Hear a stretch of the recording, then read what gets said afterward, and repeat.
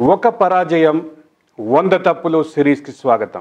ఇటీవల ఎన్నికల్లో టీడీపీ ఘోర పరాజయానికి ఓ ప్రధాన కారణం కులాల సమీకరణలో వైఫల్యమే. దశాబ్దాల పాటు వెన్నింటి ఉన్న కులాలను ఆ పార్టీ నిలుపుకోలేకపోయింది. దూరమైన కులాలను మరింత దూరం చేసుకుంది.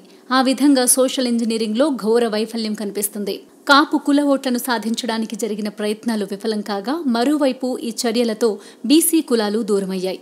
ఆయా కులాలకు ప్రాతినిధ్యం వహిస్తున్న మంత్రులు నాయకులు దీనిని నిలువరించలేకపోయారు. టీటీడీ వివాదం రమణ దీక్షితుల అంశంలో కొందరు మంత్రులు చేసిన వ్యాఖ్యలు బ్రాహ్మణ కార్పొరేషన్కు ఐవైఆర్ కృష్ణారావు నియామకం తొలగింపు వంటి అంశాలు బ్రాహ్మణ సామాజిక వర్గాన్ని దూరం చేశాయి.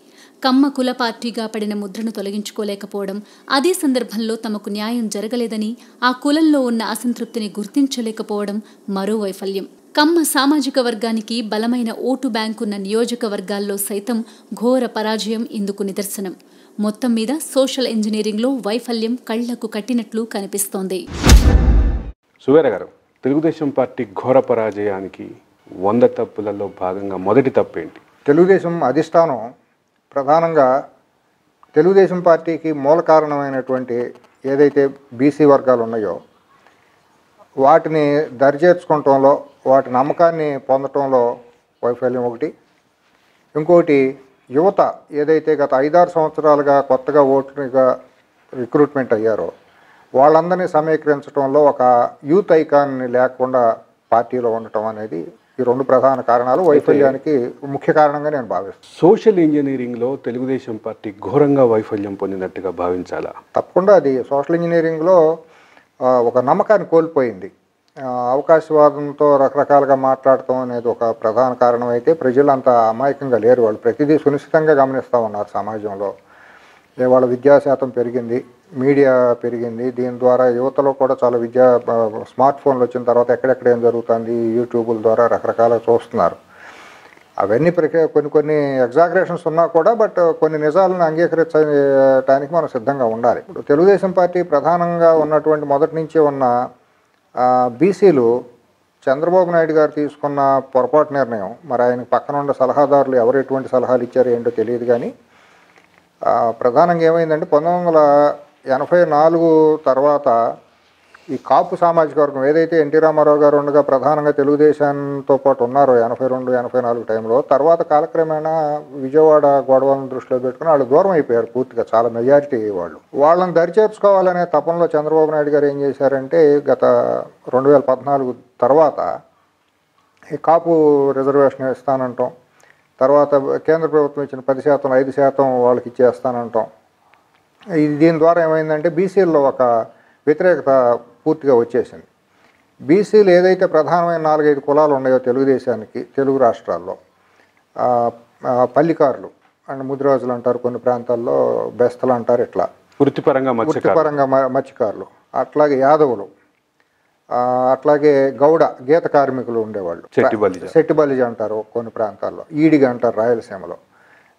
తర్వాత బోయా కమ్యూనిటీ రాయలసీమలో మనకు అనంతపురం కర్నూలు ప్రాంతాల్లో ఎక్కువగా బలమైన సామాజిక వర్గం బోయా కమ్యూనిటీ కురుబా కమ్యూనిటీ. వీళ్ళందరూ ప్రధానంగా ఉన్నటువంటి కమ్యూనిటీలన్నీ కూడా ఒక రకమైన వ్యతిరేక భావాన్ని పెంచుకున్నారు తెలుగుదేశం పార్టీ మీద. దాన్ని గమనించడంలో తెలుగుదేశం అధిష్టానం పూర్తిగా వైఫల్యం చెందింది. దాన్ని గ్రౌండ్ రియాలిటీస్ని తెలుగుదేశం పార్టీ గమనించలేకపోయింది. అదే ఇంకొక పరిస్థితి ఏంటంటే తెలుగుదేశం పార్టీలు ఎవరైతే ఆ కులాలను రిప్రజెంట్ చేస్తూ ఉన్నారో ప్రధాన నాయకులుగా ఇప్పుడు పదవులు పొందుతా ఇప్పుడు ఉన్నారో వాళ్ళు ఏ రోజు కూడా ఆ కులాలను ఓన్ చేసుకోలే వాళ్ళ కులం కూడా ఇతను మా కమ్యూనిటీ వాడు మా ఇబ్బందులు వస్తే మా తరపున నిలబడతాడనే విధంగా ఆ కులానికి సంబంధించిన వాళ్ళు ఆ నాయకుల్ని ఎవరు గుర్తించలేదు. వీళ్ళు కూడా ఎంతసేపు ఆ కుల నాయకులుగా గుర్తించడానికి వీళ్ళు ఇష్టపడినట్టు దాఖలాలు మనకు కూడా లేదు. వాళ్ళు కొద్దిగా ఏంటంటే మేము మా కుల నాయకులుగా ఏంటి మేము అంతకంటే గొప్పవాళ్ళం అన్న ఫీలింగ్లో వీళ్ళ బాడీ లాంగ్వేజెస్ అన్నీ కూడా ఆ రకంగా కొద్దిగా విద్వేషం అహంకారంగా ప్రవర్తించడం జరిగింది తప్పించి ఆ కులాలని వెనకబడిన వర్గాలని ఏదైతే వాళ్ళు ఏ కులం నుంచి వచ్చారో ఆ కులాలకు మేము అండగా ఉంటాం మీకేం పర్వాలేదు మీకు ధైర్యంగా ఉండండి అని చెప్పడంలో వీళ్ళు వైఫల్యం చెందారు. అట్లాగే ఎన్నికల సమయం నాటికి ఆ కులాలన్నింటినీ సమీకృతం చేయటం ర్యాలీ చేయటం ఆ కుల మీటింగులు పెట్టుకుంటాం వాళ్ళలో కాన్ఫిడెన్స్ బిల్డప్ చేయటం అనే దాంట్లో కూడా పూర్తిగా వైఫల్యం చెందారు. అదే సందర్భంలో వైఎస్ జగన్మోహన్ రెడ్డి కాపుల విషయంలో ఇచ్చిన క్లారిటీ బీసీలో భరోసా పెంచిందని భావించాలా? ఇది కేంద్ర ప్రభుత్వ పరిధిలో ఉన్న అంశం నేనేమీ చేయలేను అని ఇచ్చినటువంటి క్లారిటీ ఏదైనా కూడా ఒక క్లారిటీ అనేది ఎప్పుడు ఉండాలి. అవకాశవాదంగా ఏ రోజుకి ఆ రోజు మాట మార్చడం అనేది ప్రజలు అంగీకరించరు. ఏది ఎస్ఆర్ రెండు ఏది చెప్పినా కూడా ప్రజలు ఒక నిర్దిష్టంగా అభిప్రాయానికి వచ్చేస్తారు. వాళ్ళని తాత్కాలికంగా ప్రతిరోజు మోసం చేయటం అనేది పద్ధతి కాదు. అది రాజకీయంగా కూడా ఎప్పటికీ కూడా మంచిది కూడా కాదు. దాన్ని ఎందుకని గమనించలేకపోతున్నారో అర్థం కావట్లా. ఎప్పుడు కూడా ప్రజలు కరుగాల్చి వాత పెడతారు. మనం అవకాశవాదంగా కనుక వాళ్ళని ఏమార్చడానికి ప్రయత్నం చేస్తే తాత్కాలికంగా వాళ్ళు ఇదవ్వచ్చు కానీ ఐదు సంవత్సరాల కాళ్ళకి ఒకసారి వస్తూ ఉంటుంది చేతిలోకి. వాళ్ళు ఎన్ని గమనించుకుని ఒకటొకటి మెట్టుమెట్టుగా మనం చేసిన తప్పులన్నీ వాళ్ళు మనసులో గూడు కట్టుకుంటూ ఉంటాయి. అదే దాని యొక్క రియాక్షనే ఎలక్షన్ టైంలో మనకు చూపిస్తారు. మనం ఎలక్షన్లో ఇవాళ మొన్న ఎన్నికల ఈవీఎంల మీద తప్పు అని అంటున్నాం కానీ ఈవీఎంల తప్పు లేదు అని నేను అన్నాం. ఏదో ఉంది దాంట్లో. దాని వెనక గూడు పుటాని అని ఉందనేది పామర జనం కూడా స్థూలంగా మేజారిటీ సెక్షన్స్ తెలుగుదేశం పార్టీకి దూరం అయినాయి సోషల్ ఇంజనీరింగ్లో తెలుగుదేశం అంటే వాళ్ళు కావాలని అవ్వలేదు. సోషల్ ఇంజనీరింగ్లో వాళ్ళు మనస్ఫూర్తిగా కావాలని అవ్వలేదు. ఈ ఏదైతే బీసీ నాయకులు ఎవరైతే ఉన్నారో కులాలను రిప్రజెంట్ చేస్తా వాళ్ళ వైఫల్యం ప్రధానంగా ఉంది. మైనారిటీస్ నుంచి కూడా పదవులు పొందిన వాళ్ళు ఏ రోజు కూడా వాళ్ళు మైనారిటీల దగ్గరికి వెళ్ళటం కానీ మైనారిటీ మీటింగులు పెట్టడం కానివ్వండి అటువంటి అసలు చేయలేదు. అసలు వాళ్ళ బొనగడే లేదు. వాళ్ళ యొక్క బీజేపీతో పోరాటం మొదలుపెట్టిన తర్వాత ఉధృతం చేసిన తర్వాత మైనారిటీలు దగ్గరకు వస్తారు మైనారిటీలు తమ హక్కులు నేర్చుకుంటారు అని చంద్రబాబు నాయుడు ఆశించినట్లుగా వార్తలు వచ్చినాయి. అసలు ఆయన అది అవకాశం అది ఎందుకు సాధ్యం కాలేదు? చంద్రబాబు నాయుడు గారు ఎవరైతే మైనారిటీ నాయకులు నమ్మాడో అది పూర్తిగా ఆయన తప్పు రాంగ్ చాయిస్ ఆయన నమ్మాల్సిన వాళ్ళు నమ్మలేరు. ఆయన నమ్మిన వాళ్ళు ఆయన భాషని ఆయన భావాన్ని వాళ్ళ మైనారిటీ వర్గాల్లోకి బలంగా తీసుకెళ్ళలేకపోయారు. ఒకళ్ళిద్దరు తప్పించి ఇప్పుడు ఎన్ఎండి ఫరూక్ గారు ఉన్నారు. ఆయన మొదటి నుంచి తెలుగుదేశం పార్టీ పురుడు పోసిన దగ్గర నుంచి ఉన్న మనిషి. ఆయన ఫేస్ వాల్యూ ఉన్న మా- మాట వాస్తవమే. మంచి మనిషి కూడా. ఆయన ఎక్కడ కూడా మాట అనేది లేదు.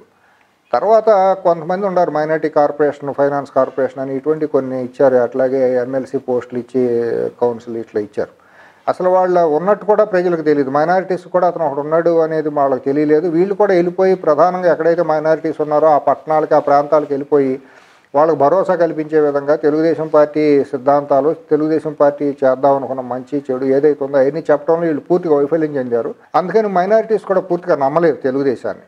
మళ్ళీ వీళ్ళు వచ్చిన తర్వాత రేపు మైనారిటీ ఇంకొకసారి మోడీ వెళ్ళరు అనే గ్యారంటీ లేదు అనేది వాళ్ళలో బలంగా గూడు కట్టుకున్నది. ఎందుకంటే గత పది సంవత్సరాలు వీళ్ళు అన్నమాటకు వ్యతిరేకంగా ప్రవర్తించడం అవకాశవాదంగా ఎప్పటికప్పుడు మాట మార్చడం పార్టీలతో జతగట్టడం అనేది కాలక్రమేణా వాళ్ళకు ఒక అపనమ్మకం అనేది అభద్రతా భావం అనేది ఏర్పడింది తెలుగుదేశాన్ని నమ్మాలంటే. అట్లానే వైసీపీ వాళ్ళు మాటలు మార్చలేదంటే వాళ్ళు పూర్తిగా మాటలు మార్చారు. మొత్తం మీద ఈ సామాజిక వర్గాల వారీగా ఓట్లను కూడగట్టడంలో తెలుగుదేశం పార్టీ వైఫల్యానికి పూర్తి కారణం చంద్రబాబు వహించాలంటారా?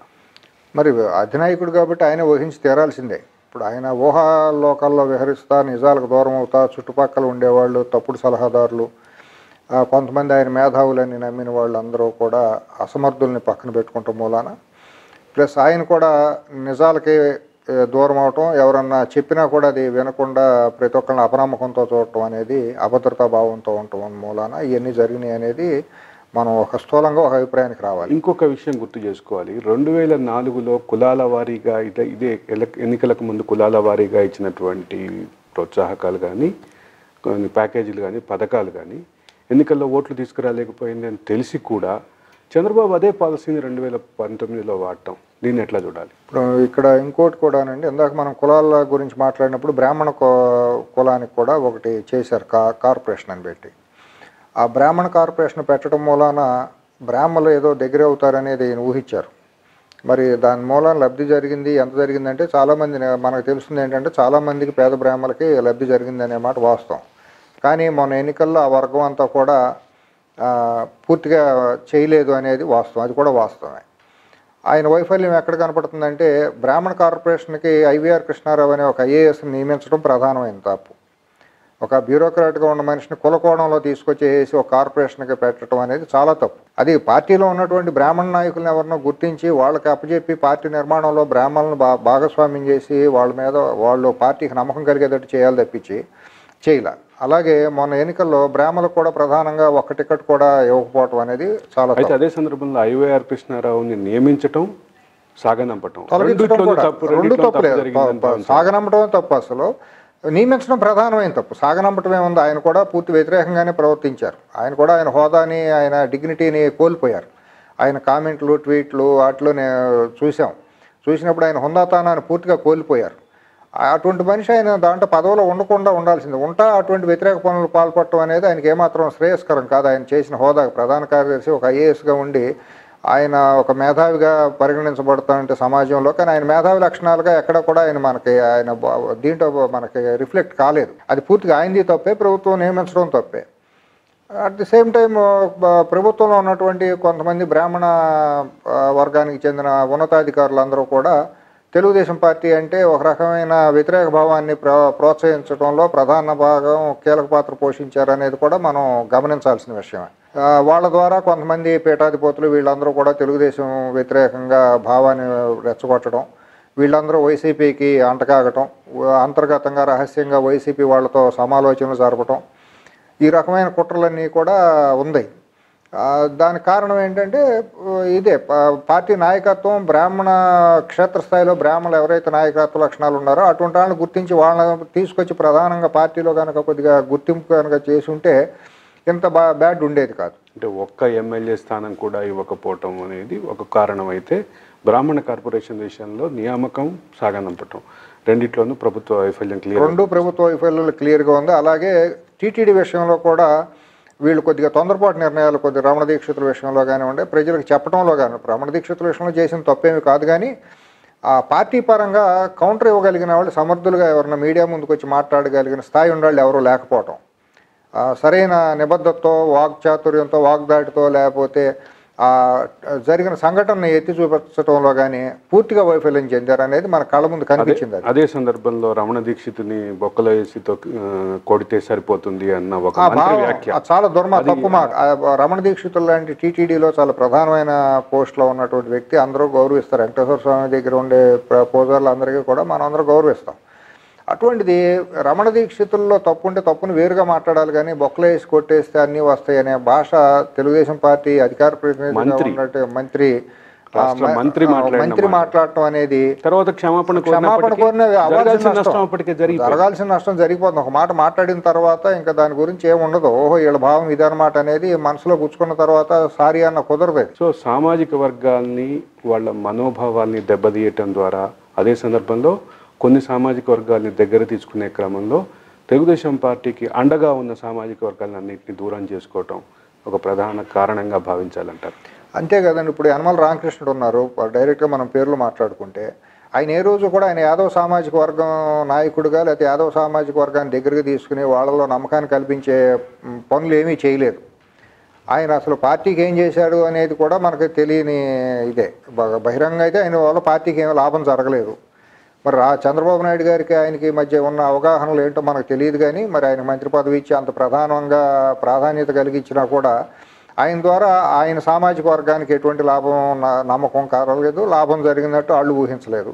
అట్లాగే కొల్లు రవీంద్ర మత్స్యకార కమ్యూనిటీ నుంచి వచ్చిన వ్యక్తి మనిషి మంచాడే. కానీ అతని పర్సనాలిటీ చాలలేదు. అతను మత్స్యకారుల దగ్గరికి వెళ్ళటం వాళ్ళ మీటింగులు పెట్టడం ఆ కోస్టల్ ఏరియా మొత్తం అంతా పర్యటన చేయటం అనేది చేయకుండా ఒక మంత్రిగా ఎంతసేపు ఇక్కడ కూర్చుంటాం అదే అధిష్టానం వర్గ చుట్టూ ఆ ప్రదక్షిణ చేయడానికి ఆయన సరిపోయాడు తప్పించి ఆయన ఏదో ఏ ప్రా ఏ కమ్యూనిటీ నుంచి వచ్చారు ఏ కులం నుంచి వచ్చారు ఆ కుల సమీకరణ చేసుకోవటంలో ఆయన ఫెయిల్ అయ్యారు. ఇప్పుడు తెలుగు ఉమ్మడి రాష్ట్రం ఉన్నప్పుడు దేవ దేవేంద్ర గౌడ్ గారు గౌడ కమ్యూనిటీ నుంచి చాలా ప్రధానమైన నాయకుడిగా పెరిగారు. రాష్ట్ర స్థాయిగా ఎవరు వచ్చినా కూడా కొద్దిగా వెళ్ళి మాట్లాడుకోవటానికి ఆ గౌడ కమ్యూనిటీ వాళ్ళ భాషని మాట వాళ్ళకి ఒక ఆదరణ ఇవ్వడానికి బాగుండేది ఆయన. రాష్ట్ర స్థాయి నాయకుడిగా బాగా ఎమర్జ్ అయ్యారు ఆయన ఒక బీసీ నాయకుడిగా. దురదృష్టవశాత్తు రాష్ట్రం విడిపోయిన తర్వాత మొన్న ఆంధ్రప్రదేశ్లో ఆ గౌడ ఈడిగా లేదా సెట్టిబలిజ ఆ కులాల నుంచి వచ్చిన ప్రాతినిధ్యం నేనున్నానని చెప్పడానికి ఎవరో కూడా లేకపోవటం. కేఈ కృష్ణమూర్తి అనే ఆయన ఉప ముఖ్యమంత్రి పేరుకే కానీ ఆయన ద్వారా కమ్యూనిటీ ఓన్ చేసుకుంటాం ఆయన చేసిన చర్యలు అనేది శూన్యం. ఆయన కానీ ఆయన కుటుంబం కానీ జిల్లాలో ఈడిగ కమ్యూనిటీకి ఏమీ చేయలేదు. రాష్ట్ర స్థాయి నాయకుడిగా కూడా గౌడ సెట్టిబలిజ వాళ్ళని తీసుకొచ్చి సమీకృతం చేయడంలో ఫెయిల్ అయింది. అట్లాగే పీతాని సత్యనారాయణ ఆయన కూడా ఆ, కులానికి సంబంధించిన మనిషి. ఆయన కూడా తూర్పుగోదావరి పశ్చిమ గోదావరి ఆ కోనసీమ ప్రాంతంలో సెట్టిబలిజీలను సమీకరించి వాళ్ళని దగ్గరికి చేయడంలో కూడా ఫెయిల్ అయ్యారు. వాళ్ళలో ఈ ప్రధానమైన బీసీ వర్గాల్లో తెలుగుదేశం వ్యతిరేక భావం వస్తుంది దాన్ని అరికట్టాలి దాన్ని ఏ రకంగా ఆపాలి అనే విషయంలో పూర్తిగా తెలుగుదేశం పార్టీ అధిష్టానానికి వీళ్ళు ఫీడ్బ్యాక్ ఇవ్వడంలోనూ ఫెయిల్ అయ్యారు. వీళ్ళు వాళ్ళతో మమేకం అవడంలో కూడా ఈ నాయకులు మంత్రులు ఎవరైతే ఉన్నారో వాళ్ళ సొంత కులాల వాళ్ళతో మమేకం అవడంలో కూడా పూర్తిగా వైఫల్యం చెందారు. చంద్రబాబు నాయుడు సామాజిక వర్గానికి చెందిన బలమైన పట్టున్నటువంటి ప్రాంతాల్లో కూడా తెలుగుదేశం పార్టీ ఈసారి ఓటమి పాలైంది. అదే కదా. రెండు వేల నాలుగులో ఏదైతే జరిగిందో ఈసారి కూడా అదే జరిగింది. అదే కదండి. చంద్రబాబు నాయుడు కూడా తన సామాజిక వర్గం ఓట్లని నిలబెట్టుకోవటంలో విఫలమైనట్టు భావించాలి? తెలుగు అంటే కొంత ఏమైందంటే ఉన్న ఎమ్మెల్యేలు ఎవరైతే ఉన్నారో కమ్మ సామాజిక వర్గానికి చెందిన ఎమ్మెల్యేలు కూడా వాళ్ళు చాలా అతీతంగా ప్రవర్తించడం అబ్నార్మల్గా బిహేవ్ చేయడం అనేది మొదలెట్టారు. మనుషులు మనుషులుగా చూడకపోవటం అహంకారంగా ప్రవర్తించడం తెలుగుదేశం అంటే మామూ మేమే తెలుగుదేశం అన్న ఒక ఆ, అభిజాత్యంతో ప్రవర్తించడం ఆ కమ్యూనిటీలో కూడా కొద్దిగా ఒక రకమైన యావగింపు కంటగింపు వాళ్ళంటే ఒక అసూయ ద్వేషాలు ప్రబలేదట్టు వీళ్ళు ప్రవర్తించారు. అసూయ అంటే వేరే అసూయ కాదు. వీళ్ళ ప్రవర్తన అసూయ కలగజేసే విధంగా యావగింపు కలగజేసే విధంగా ఉంది. దాని మూలాన కూడా కమ్మాళ్ళలో చాలా కమ్మ సామాజిక వర్గం కూడా నిర్లప్తంగా ఉంది. అది వైసీపీకి వెళ్ళారు చేశారని అంటాం ఇది కాదు కానీ వెళ్ళారు. కొంతమంది వెళ్ళకుండా రాజకీయం అన్నాక అటు ఇటు రెండేపులా ఉంటారు. బట్ ప్రధానమైన తప్పు కమ్మ సామాజిక వర్గాన్ని నుంచి రిప్రజెంట్ చేసిన ఎమ్మెల్యేల బిహేవియర్ అనేది చాలా జుగప్స్ కలిసి కలిగించే విధంగా నైంటీ పర్సెంట్ ఎమ్మెల్యేలు అందరూ అని అంటానికి వీల్లేదు. చాలామంది ఎమ్మెల్యేలు ఒక అహంకారంగా ప్రవర్తించారు విర్రవీగిపోయారు. వాళ్ళు సమాజానికి పూర్తిగా దూరం అయిపోయి ఎంతసేపు అధిష్టాన వర్గం చుట్టూ భజనలు చేసుకుంటా వాళ్ళ దృష్టిలో పడితే చాలా అన్నట్టును వాళ్ళ సొంత లా లాభాలు వ్యాపారాలు ఇసుకపాట్లు భూ ద- దందాలు ఆ, కాంట్రాక్టులో వాటాలు ఎట్లా డబ్బులు వేల కోట్లు సంపాదించాలనే తపనలోనే ఉన్నారు తప్పించి వాళ్ళు గ్రామ స్థాయికి వెళ్ళటం క్షేత్రస్థాయిలో మనుషులతో మాట్లాడటం అనేది వాళ్ళు చేయలేదు. స్థూలంగా ఒక మాట. అన్ని కులాల పార్టీగా ఉన్న తెలుగుదేశం పార్టీ కొంతమంది కమ్మ కులంలో ఉన్న వారి అతి కారణంగా ఒకే కులం పార్టీగా ముద్రపడటం ఈ ఓటమికి ప్రధాన కారణంగా చెప్తున్నారు. దీన్ని ఎంతవరకు అర్థం నేను అర్థం చేసుకుంటాం ఏంటంటే విజయవాడ అంటేనే ఒక కమ్మ విజయవాడ గుంటూరునే ఒక కమ్మకుల ప్రాధాన్యంగా ముద్ర వేసుకుంటూ వచ్చారు. ఒరిజినల్గా అక్కడ కమ్మకుల ప్రాధాన్యత అనేది ప్రాస్పరిటీ కమ్యూనిటీగా అక్కడ ఇండస్ట్రీ ఆటో నగర్లో ఉన్న మొదటి నుంచి లారీలు అట్లా కమ్యూనిటీ నడపటం ఇండస్ట్రీస్ కూడా అక్కడ ఎడ్యుకేషన్ హబ్ ఆ వ్యవసాయదారంగా ఉండటం మూలాన ఆ వచ్చిన వ్యవసాయ కుటుంబాల నుంచి వచ్చిన వాళ్ళు అక్కడ వ్యాపారాలు పెట్టుకోవడం ద్వారా కొద్దిగా ఆర్థికంగా వృద్ధి చెందారు. వాళ్ళని చూసి తతిమ వాళ్ళు కొద్దిగా అది ఒక ముద్ర వేశారు కానీ అక్కడ ఒరిజినల్గా చూస్తే కాపు సామాజిక వర్గం గౌడ సామాజిక వర్గం ఆ రెండు జిల్లాల్లో కూడా చాలా ప్రధానమైన భూమికి పోషిస్తూ ఉంటుంది ఆ వ్యాపారాల్లో కూడా అంటే నేను మా- నా ప్రశ్న ఏంటంటే కమ్మ పార్టీగా ముద్రపడటం అనేది మిగతా సామాజిక వర్గాన్ని అదే అదే? చెప్పేది. అదే సందర్భంలో కమ్మ సామాజిక వర్గంలో కూడా అతి జరిగింది. కమ్మ సామాజిక వర్గం కూడా ఓన్ చేసుకునే కారణంగా అవును. వీళ్ళలో కూడా సోషల్ మీడియాలో కొంతమంది కమ్మ పిల్లలు మెచ్యూరిటీ లేని వాళ్ళందరూ చేసిన బిహేవియర్. రోడ్ల మీద విజయవాడ గుంటూరు రోడ్ల మీద కమ్మ యువత మెచ్యూరిటీ లేని వాళ్ళు చేసిన ప్రవర్తన. కంట కంటకింపు కలగటం ఇతరులకి దూరం అవటం అనేది జరుగుతూ వచ్చింది.